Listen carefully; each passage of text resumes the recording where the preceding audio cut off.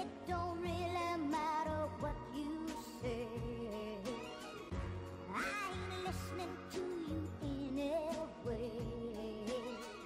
Привет! Такое устройство, как Powerbank, стало уже незаменимым гаджетом для большинства людей. Выбор пауэрбанков на рынке большой. Есть устройства высокого уровня сборки и начинки, а есть дешевые, ненадежные и медленные гаджеты, пользование которыми вызывает только боль. Устройство, которое попало сегодня на обзор, достойный конкурент многим банкам, а возможно и вообще лидер. И при том, что у него не только много функций, про которые я вам позже расскажу, а и приятная цена, что немаловажно. Устройство у нас называется Powerbank Centurion, и он оснащен функцией беспроводной зарядки, а для владельцев большинства топовых флагманских устройств это очень полезная функция. А в вашем телефоне есть беспроводная зарядка? Если ее вдруг нет, так вы дальше узнаете, как ее можно сделать. Производится устройство международным холдингом Centurion, и этот факт уже является гарантом качества, хотя сейчас сами во всем разберемся. Итак, поставляется банк в фирменной коробке, на которой указана вся информация об гаджете. Внутри у нас само устройство, переходник на Lightning, это для зарядки айфонов. Еще есть руководство пользователя на русском языке и сертификат качества. Выглядит Powerbank просто великолепно. Сделан он спереди из органического стекла, а сзади с алюминия. Лежит в руке очень приятно и по размерам немного меньше обычного телефона. Мощность у нас 8000 мАч, есть быстрая зарядка плюс беспроводная зарядка. А теперь погнали по фишкам гаджета, которые мне понравились. Первое это то, как в устройстве выполнена эргономика шнура и разъемов, которыми мы будем заряжать. Шнур у зарядки у нас прячется в верхнюю часть корпуса. Вам не придется искать где-то по сумке ваш кабель, который потерялся непонятно где. Просто вынули его с корпуса и подзаряжаете. Потом легко вставили обратно и не паритесь. Также в корпусе есть гнездо для переходника, например по Type-C или под Lightning. Тоже выполнено очень разумно и удобно. В это гнездо можно вставить один из двух переходников, которые идут в комплекте. Я оставил Type-C. Кстати, в коробочке идет переходник на Lightning, а второй переходник уже был вставлен внутрь гаджета. Если же вам нужна подзарядка одновременно двух смартфонов, то вы сможете подключить их. Да что там двух, даже трех. И все они будут подзаряжаться. Сразу три смартфона одновременно от одного пауэрбанка. Очень круто.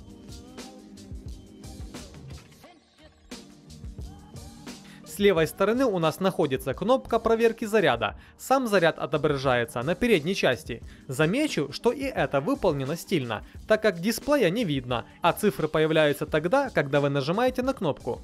С правой стороны находится гнездо microUSB для зарядки устройства.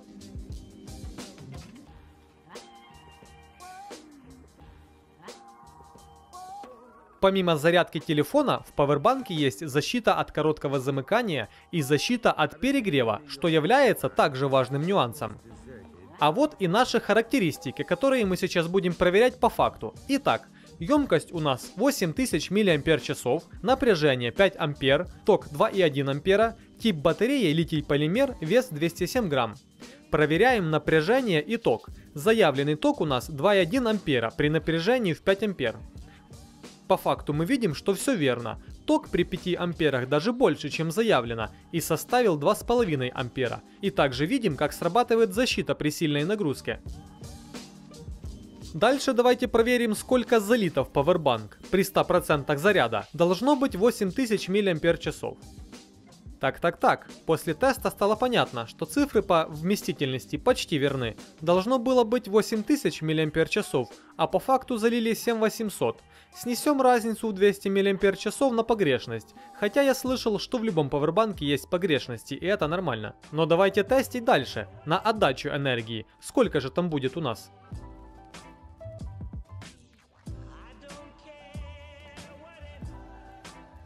Видим, что устройство выдало нам меньше энергии, чем мы влили в него. Не знаю, с чем это связано. Наверное, с типом аккумулятора. Он у нас литий-полимерный.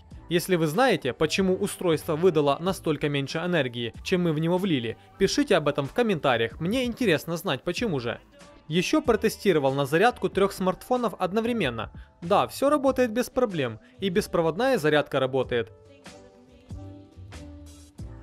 Кстати, я для беспроводной зарядки прикупил приемник, так как встроенной беспроводной зарядки в телефоне у меня нет. Не думал раньше, что для обычного телефона можно придумать беспроводную зарядку. Прикольно получилось. В итоге скажу, что Powerbank Centurion мне понравился. Смотрится он реально круто и дорого. Функций для современных устройств у него предостаточно. Тут и различные защиты, и быстрая зарядка, и можно зарядить сразу три устройства. Круто же? И сделан он очень добротно. Заявленные характеристики все реальные, кроме, конечно, отдачи энергии. Хотя залил я в банку заявленный объем. Ах да, забыл уточнить, заряжается Powerbank от 0 до 100% за 10 с половиной часов. За день вы его вряд ли разрядите, а придя ночью или вечером домой, ставите на зарядку и утром берете полной энергии Powerbank. Кстати, на гаджет есть гарантия 1 год, и этот товар не из Китая. Тут в случае чего вы сможете воспользоваться гарантией без проблем. Что вы думаете по поводу этого пауэрбанка? Пишите в комментариях. И если он вам приглянулся, то ссылку, где я заказал, я оставил в описании. Переходите и смотрите. Сейчас, кстати, начал тестировать свой пауэрбанк на 20 тысяч мАч на отдачу. Интересно стало после теста этой банки. Если вам интересен итог теста, пишите в комментариях. Был рад сегодня для вас стараться. Спасибо за просмотр, всем пока!